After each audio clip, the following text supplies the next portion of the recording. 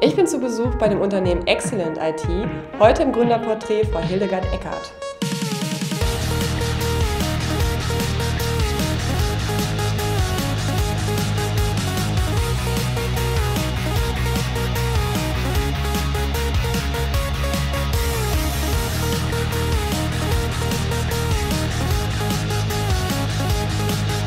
Mein Name ist Hildegard Eckhardt, bin äh, 56 Jahre alt, verheiratet, habe eine Tochter und habe äh, in den 90er Jahren hier mein Unternehmen gegründet. Excellent IT ist ein Unternehmen aus dem, äh, wie das IT schon sagt, aus der Informationstechnologie. Wir machen Individualsoftwareentwicklung. Wir gehen zu den Unternehmen und bieten ihnen unsere unsere Hilfe, nenne ich es jetzt einfach mal so, in, in ihren individuellen Problemstellungen an. Zum damaligen Start mit einem Mitarbeiter angefangen, ich hatte damals auch noch Mitgesellschafter dabei, weil ich mir erhofft und erwünscht hatte, dass man hier noch ein, ein, Stück Mentoring hat. Aber irgendwann sind die Philosophien auseinandergelaufen und dann habe ich auch das komplette äh, Unternehmen übernommen. Ja, aber ich bin eigentlich eine Kämpfernatur gewesen. Das äh, hat alles funktioniert. Letztendlich habe ich nachher, als ich selbstständig war, den Vorteil gehabt, nicht mehr abhängig von einem Arbeitgeber zu sein, der mir sagt, wie kann ich das mit meiner Familie regeln, sondern dann konnte ich dann selbst entscheiden, wie ich äh, das regle. Das war natürlich auch ein gewisser Vorteil. Okay, es ist natürlich nochmal ein, äh, eine größere Kraftanstrengung, keine Frage, aber es ist auch ein Vorteil, weil man kann es dann wirklich selbst regeln. Da muss man äh, natürlich erstmal starten, muss telefonieren, man muss wirklich Kaltakquise machen. Das musste ich wirklich auch selbst tun. Äh, und dann muss man vielleicht auch das Quäntchen Glück haben, was man sicherlich auch mit viel Fleiß hat, dass man diesen ersten Auftrag bekommt. Dieser erste Schritt bedeutet, man verdient sein erstes Geld und dann hat man natürlich nur ein Büro und ein Rechner und na gut, für den Mitarbeiter vielleicht noch ein Rechner, keine Frage. Man startet dann nicht mit einer eigenen Buchhaltung, wie wir das heute haben, sondern man hat dann einen Steuerberater, den man natürlich nur für die Leistung bezahlt, die man bei ihm abruft. Als junger Gründer hat man eh das Grundsatzproblem, dass man sehr schwer an qualifizierte Mitarbeiter kommt, die bereit sind, auch ein gewisses Risiko einzugehen, dass der Arbeitsplatz womöglich, wenn es schief geht, in einem Jahr oder einem halben Jahr nicht mehr da ist. Also muss man mit anderen Mitteln locken.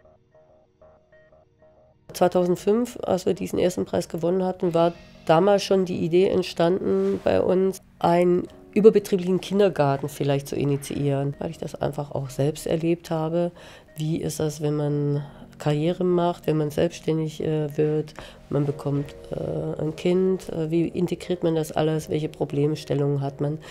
Ja, es war eigentlich, es ist eigentlich eine Erfolgsstory. Aus diesen ein bis zwei Gruppen sind in der Zwischenzeit komplett, auch der letzte Platz besetzt in der Zwischenzeit über 70 Kinder, die da betreut werden. Ansonsten weiß ich nicht, wo wir heute stehen würden. Jeder zweite Bewerber hat gesagt, das Thema Familienfreundlichkeit war für ihn das Entscheidende, sich bei uns zu bewerben. Dann hat man damit ein gewisses Alleinstellungsmerkmal. Und ich kann einfach sagen, man braucht, wenn man ein bisschen querdenkt, man braucht eigentlich am Anfang dafür nicht viel Geld. Gleitzeit, ähm, bestimmte Möglichkeiten, den Mitarbeiter der Flexibilität zuzusprechen. Dafür braucht man nicht unbedingt Geld. Man muss ein bisschen querdenken, man muss ein bisschen flexibler sein, ein bisschen individueller äh, äh organisieren. Aber das ist auch für Gründer durchaus möglich und ist wirklich ein Mehrwert. Oh, jetzt kommt unser Hallo Schatzilein. So ein antiallergener Hund, also er verliert keine Haare. Der ist auch äh, die Mitarbeit, also der ist ab Nachmittag immer da. Echt? Mhm.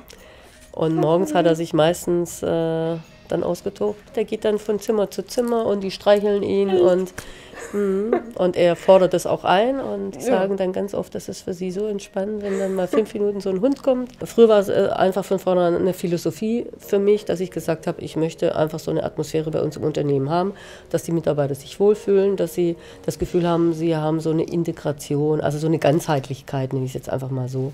Das ist so eine gewisse Nachhaltigkeit, die sich da auch und Loyalität, die sich da durchzieht. Und das ist ja dieses Geben und Nehmen, klar. Wir haben über 30 Prozent sind über zehn Jahre bei uns. Das ist im IT-Bereich relativ selten, weil die Leute sehr gerne weiterziehen nach einer bestimmten Zeit. Aber das ist doch schon eine sehr hohe Identifikation da. Also man muss nicht unbedingt der absolute Spezialist sein. Äh, man sollte strukturiert rangehen, aber man sollte diese Flexibilität zulassen, dass mal morgen was anders läuft, als man sich vorgenommen hat und sollte einfach nicht den Mut verlieren. Äh, es gibt viele Wege zum Ziel. Ich glaube, das Wichtigste ist, die richtigen Leute zu finden, denen man vertrauen kann, die mit einem gehen. Und man muss nicht alles können. Ich kann keine Zeile programmieren. Dann sollte man lernen oder versuchen, ein Händchen zu entwickeln, um die passenden äh, Partner mit ins Boot zu holen, die dann beispielsweise, wenn man jetzt sehr fachlich und technisch versiert ist, dass man jemand hat, der, auf den man sich verlassen kann und der sehr gut die kaufmännische Seite abbildet und der vielleicht auch äh, für äh, das, den Personalbereich gut abbildet. Wenn man sich dann auch äh, die richtigen Kollegen und Mitarbeiter äh, ähm, aussucht oder auch findet, die einen mittragen und die mit, mit einem zusammen Dinge verwirklichen, dann ist es eigentlich der, eines der tollsten Gefühle, die man haben kann, weil man auch stolz sein kann, was man geschaffen hat. Und da bin ich schon stolz drauf. Heute bin ich zu Besuch im Rollerzentrum für Existenzgründer und spreche mit dem Julian Lara.